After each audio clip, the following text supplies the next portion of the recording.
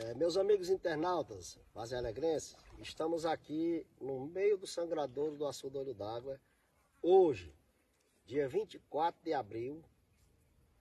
E o que eu quero explicar para vocês, o motivo do açude não sangrar ainda, eu estou aqui dentro d'água, no limite da água, certo? E o que é que acontece?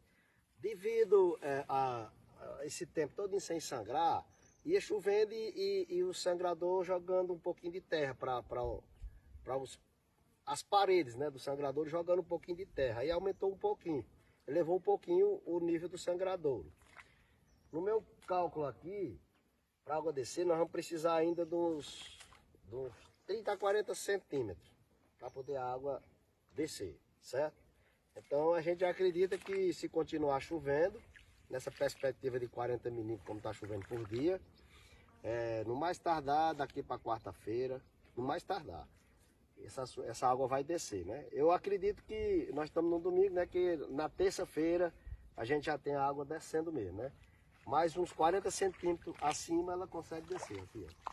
Nós temos aqui a levada de onde a água está? E a, chegando a, a uns, uns 10 metros para frente já é descendo. Então é só um